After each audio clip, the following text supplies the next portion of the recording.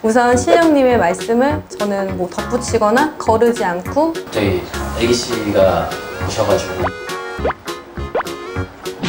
이 아저씨 할 말이 없나 봐요. 나-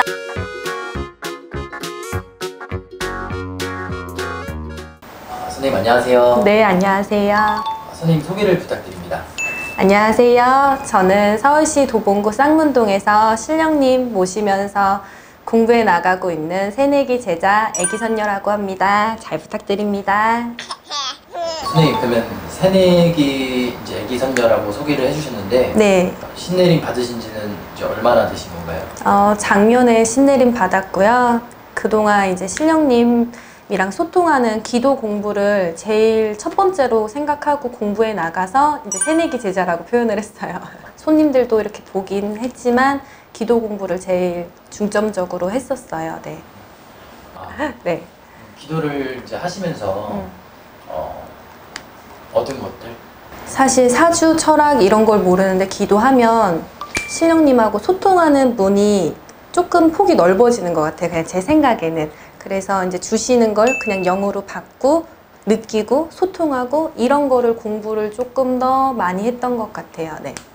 이게 뭐 아직 공부해 나가니까 정답 이런 것도 없지만 잘 모르겠지만 그냥 우리 신령님하고 제가 소통해 나가는 게 조금 처음보다 점점 점점 발전해 나가고 있다고 생각이 들어요. 네. 뭔가 주시면은 그 느낌을 받고 뭔가 말씀하시면 제가 느끼고 뵙고 이런 거를 기도 공부하면서 많이 발전을 해 나가고 있다고 생각을 해요. 네.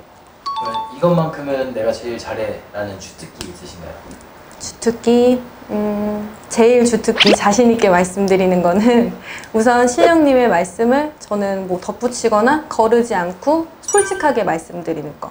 저는 인간에서 지식이 없거든요, 사실. 그리고 이런 지식도 없고. 그러니까 덧붙이지 않고 그냥 있는 그대로 말씀드리는 거. 네. 주시는 대로 네, 그거를 들으시러 오시는 거잖아요. 그러니까 있는 그대로. 네, 그렇게 말씀드려요. 가장 최근에 왔던 손님들 뭐 이야기 같은 거 음, 손님분들이 대부분 저한테 오시는 분들이 말씀을 많이 안 해주셔요. 근데 그냥 애기 씨가 점사를 봐주실 때딱 집으시면은 된다 안 된다를 말씀해 주시거든요. 되면 된다. 그럼 정말 되게끔 해주셨어요. 그 말씀을 하신 거에 있어서는. 근데 안 되는 문제를 되게 해달라 이러면은 솔직하게 안 된다 말씀을 드리고. 네. 갑자기 애기 씨가 오셔가지고 아니요, 주특기 말했는데요. 나 춤하고 노래 진짜 잘 부르거든요. 그래서 그것만 자랑하고 싶었어요. 응. 춤하고 노래 응. 한번 그러면 해볼까 해볼 해볼 해보실 수 아니요, 춤하고 노래 잘하는데요. 나는 또 제일 잘한 거 또 있어요. 뭐예요? 나는요 제일 똑똑해가지고요 말을요 할머니가 주시고 내가 아는 거 제일 똑똑하게 얘기해요 부동산 부동산이고 뭐고 내가 궁금한 거 있으면 내가 다 얘기해 준다니까요? 갑자기.